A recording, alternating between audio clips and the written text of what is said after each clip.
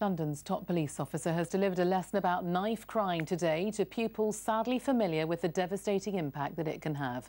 Commissioner Bernard Hogan Howe was at Edmonton County School, which was attended by Negus McClean. 15 year old Negus was stabbed to death in a street last year as he tried to stop thieves from stealing his younger brother's mobile phone. This report now from Marcus Powell. When school children need some help with their classwork, it's good to ask questions of those in authority but it's not often that the top brass actually visit in person. Yet Police Commissioner Bernard Hogan Howe came to the Edmonton County School today to talk about stop and search after GCSE students wrote to ask him about this, one of the more controversial police powers. Do you think they are carrying something that is evidence of an offence? So, for example, a knife, uh, drugs, stolen property. Uh, that's essentially the main reason that we're carrying out that search.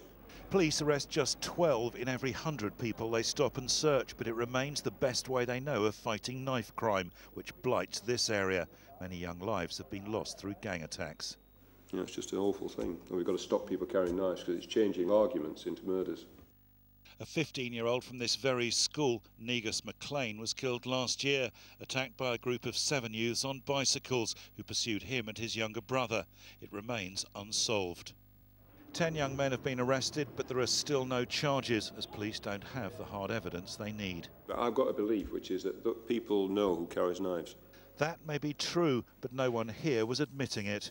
Would you know in this school who carries a knife? I'm not asking you to name them, I'm just, just wondering. Helping the police is a problem for many youngsters. Whatever they know and want to say, fear of the gangs is a more dominant factor.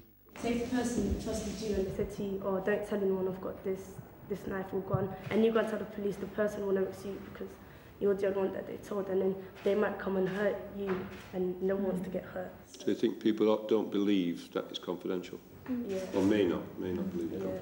The problem the police face is getting information in complete confidence. But the problem for the public is that if that information is not provided, it's the gangs that control the streets, not the police.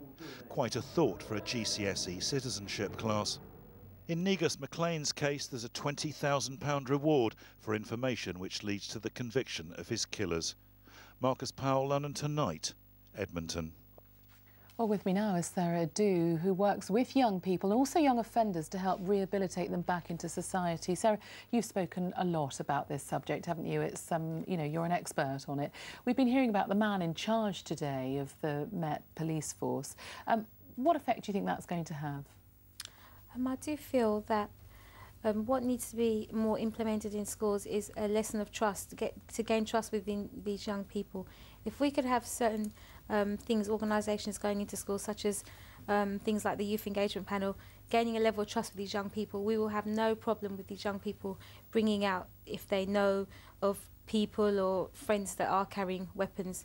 So if we can gain some kind of trust where they can trust us to keep it all confidential and um, we shouldn't have a problem. Would you go as far as suggesting and supporting the idea of actually having knife crime lessons, as it were, as part of the national curriculum? Uh, to be honest with you, I don't think it should go as far as national curriculum, but it could be a, a certain class as like an extra, extra, more like an extracurricular activity rather than part of a national curriculum, because we have a lot of students out there that that would not be beneficial to, because not all students, not all young people are involved in knife crimes or um, weapons. You're absolutely right. I mean, but there must be an element of frustration with the work that you do. These measures that are around at the moment, they're nothing new. We're saying the same things time and time again, year on year, and yet the message somehow just doesn't seem to be reaching the people who really need to hear it.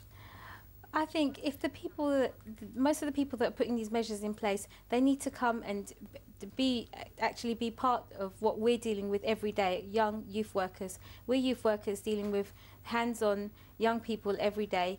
Majority of the time, we don't have a problem with young people because we already gain some form of trust with mm. them to where we have a relationship, we build a relationship where they can come and confide in us in any kind of problem. And hence, that's why we do. Um, Edmonton County School is one of the schools that we go to on a weekly basis. We're open, we do drop in services for the young people to approach us. We don't approach them, they just approach us in mm. any issues they're having. And the work that you do is so extraordinary, isn't it, Sarah? I mean, you have said in the past, haven't you, that actually your work would be a lot easier if it started with parents, if, if lessons about knife crimes and the dangers of that kind of life starts at home with parents Yes. right at the beginning. Yes, definitely. Um, at the moment, the the parenting age is getting younger. Our parents are getting our parents. We're having more younger parents. We're bringing up young children. Um, we're not saying that they're incompetent. However, they do need the right. Sh- they need to b- learn to put the right structure culturally um, in place in the home. I mean, it comes from the home first. So if they if they raise their children, our young parents are taught how to be good parents to their children. Their children are going to be raised with the right values and morals. Okay, so we must leave it there. Thank you very much indeed for coming in and sharing your expertise with us this evening on London Tonight. Thanks Thank a you. lot.